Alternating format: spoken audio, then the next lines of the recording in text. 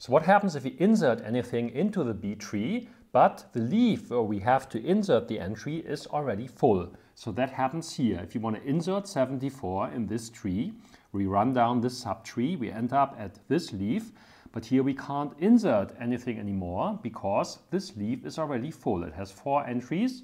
For k star equals 2, this means at most four entries are allowed, so we can't insert a fifth entry. So what do we do? So in this situation, we create a new leaf, and we create it basically at this point here. In between those two leaves, a new leaf is created. And this operation is called the split operation. So that is what we see here. Here we have this new leaf. That is a new leaf here. New leaf. And that is inserted into the linked list, the double linked list here on the leaf level. And all the entries are reshuffled. So some of the entries go to the old leaf, that is the old leaf. Let's write it down again. That is the old leaf that already existed. And some of the entries go to the new leaf. So if you go back, here we see it. So before we had 67, 72, 73 and 83. Now we reshuffle the entries. So one half of the entries goes here and the other half goes there.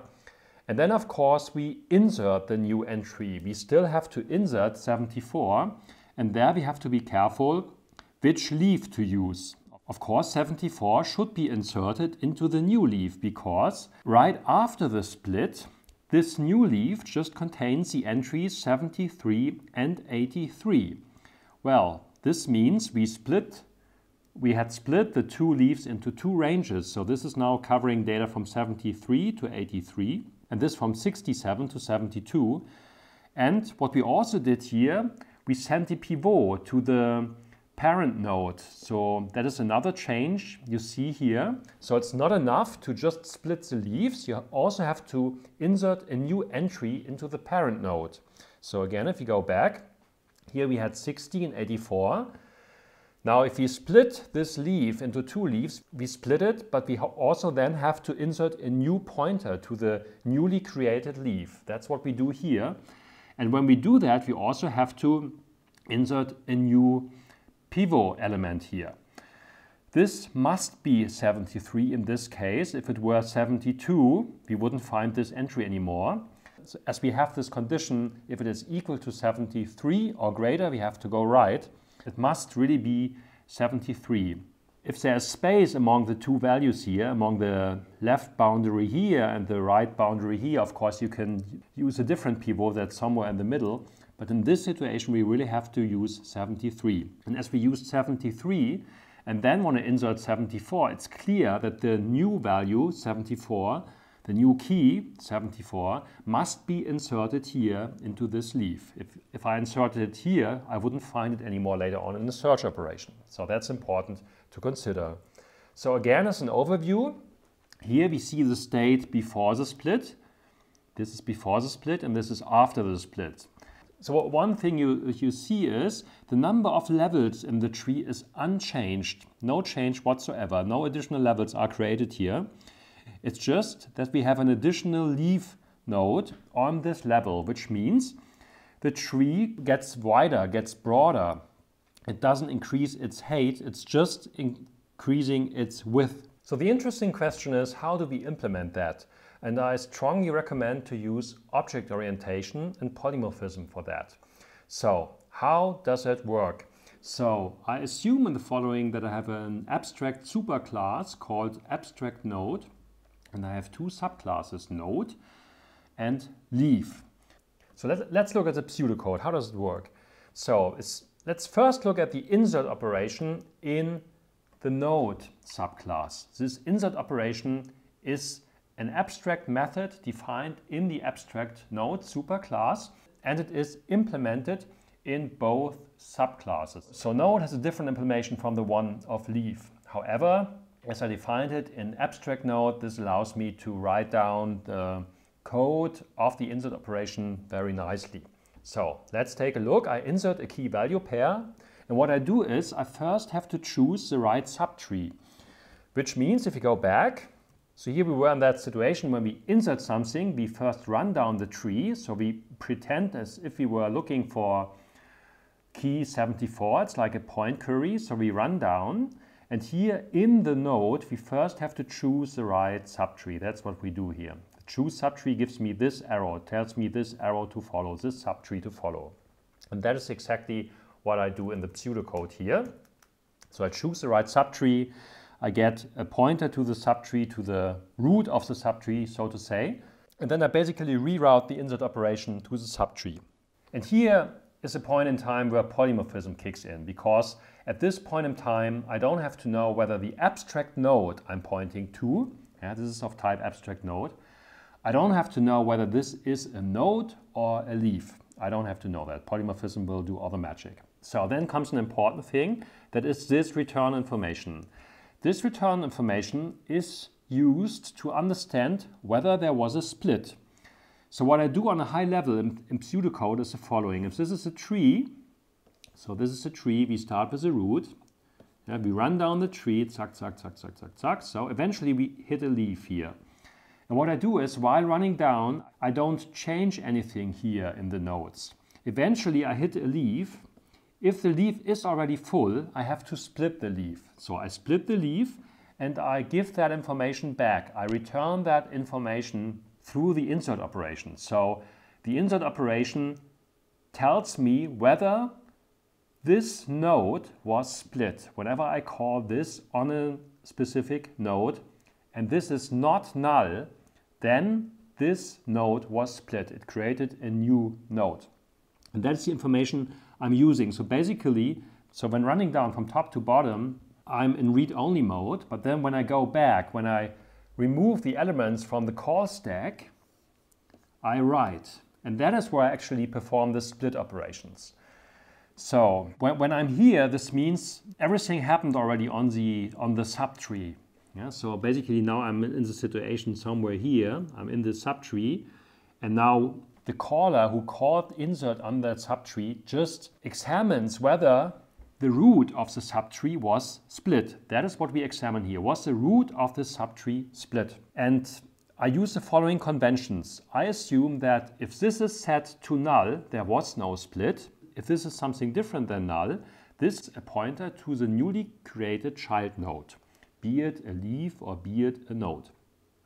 And this is a new pivot element we have to insert. So basically, in this situation, we check whether this is null or not. So this is not null, which means the root of the subtree was split. We have to do something.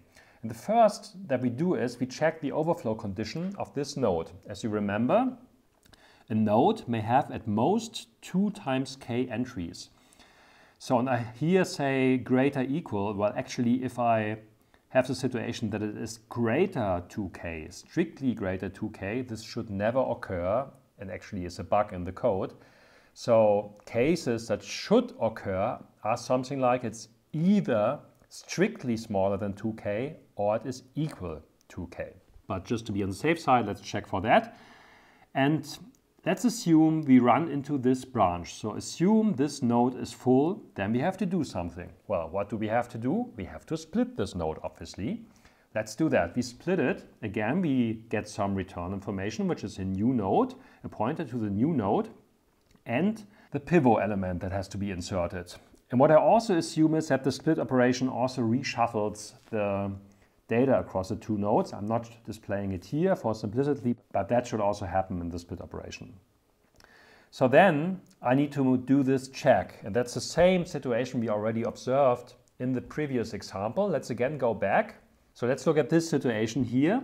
We insert 74, we run down to this leaf, we split it, and then we're here in this situation. That's the situation we're currently in, except that 74 was not inserted yet. So right after the split, we are in this situation. 67, 72 are on the old leaf, 73 and 83 are on the new leaf.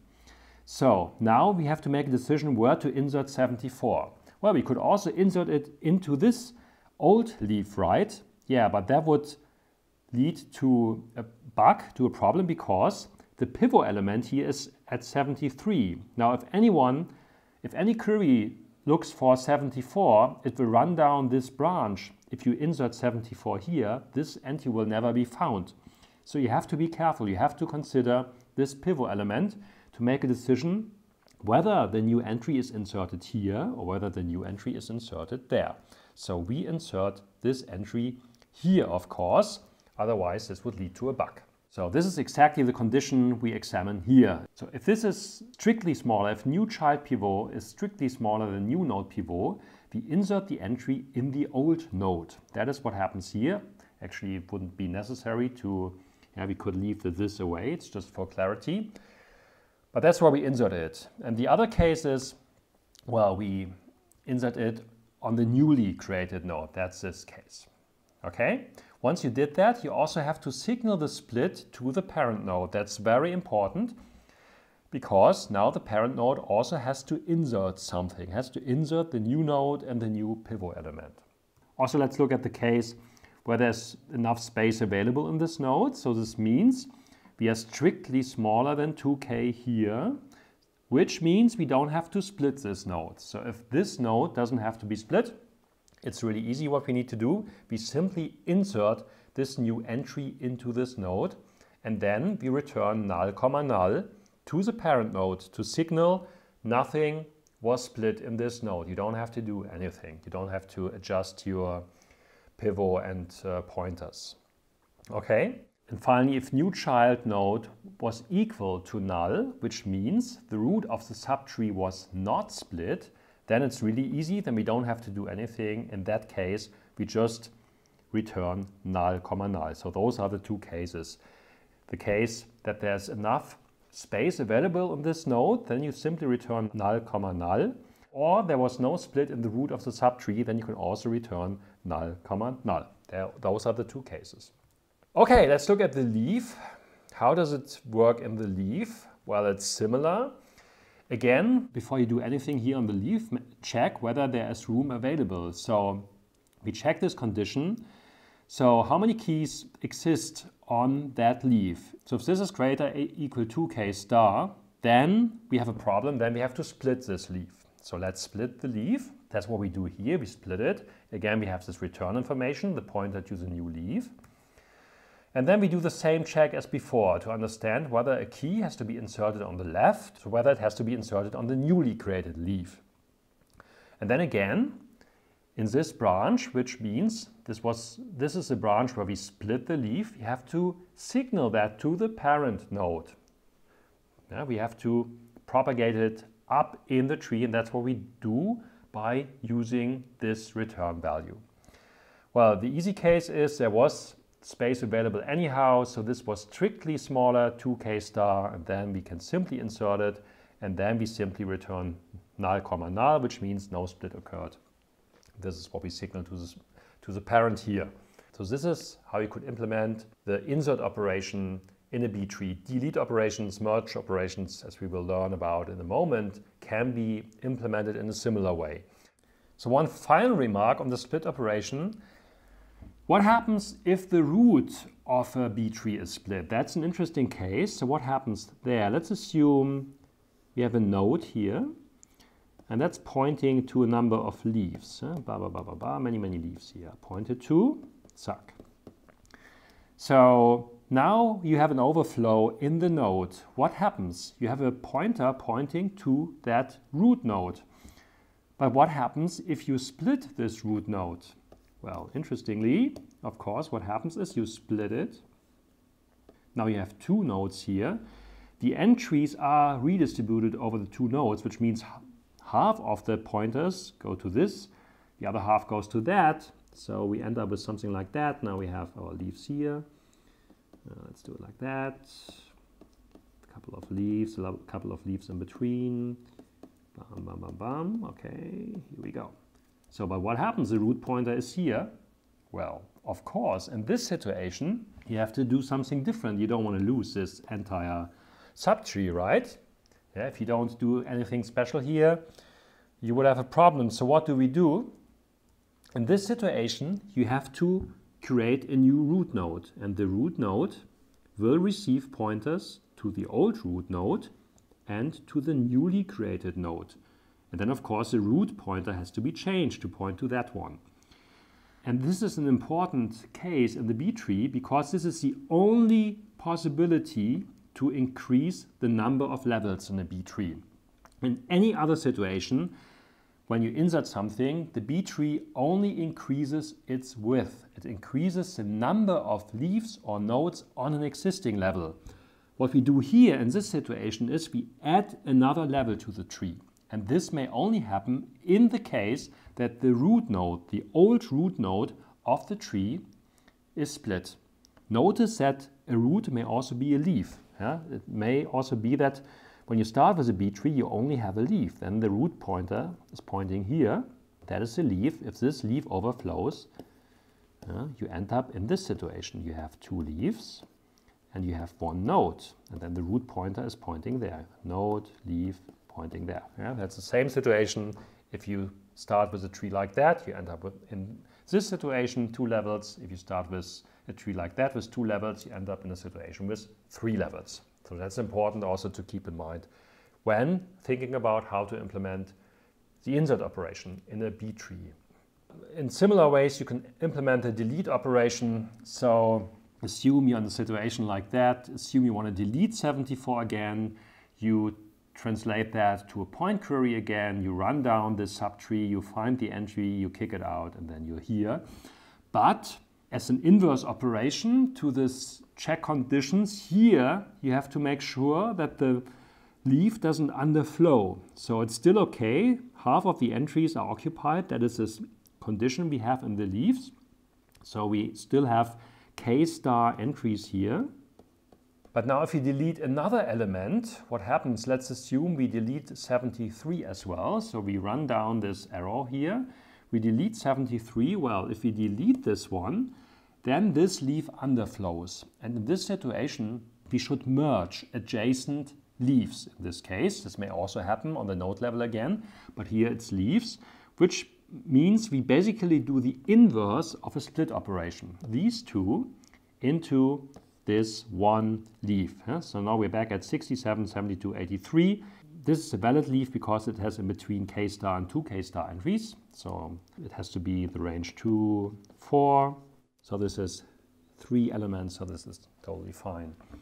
Okay, so basically what you have here is delete is the inverse of the insert operation, obviously. You first find the key and then you delete the entry from the leaf. And the merge operation that you should check for, uh, when deleting you need to check underflow conditions and they can be implemented similar to these conditions you check when returning from the insert operation here, you can check them when deleting. It's a similar scenario. It's the inverse of the split operation. So you first merge two nodes into one, and then you remove one pivot from the parent element. This is how you delete data in a B tree. If you liked this video, don't forget to hit the like button. Thank you. So if you want to see more database videos, be it in English or in German, take a look at my website datenbankenlernen.de. It has a couple of English and German videos. You can also subscribe to my YouTube channel, Jens Dittrich, or you look at our website, infosys.uni-saarland.de. See you there!